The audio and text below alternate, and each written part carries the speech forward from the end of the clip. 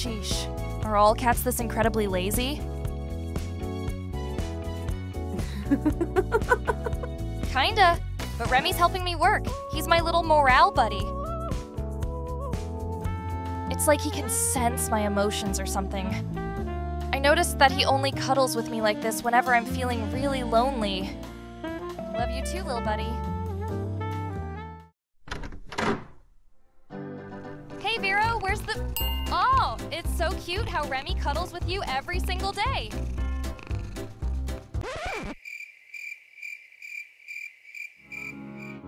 Hey, what do you say we go out to a bar after work, huh? Veronica?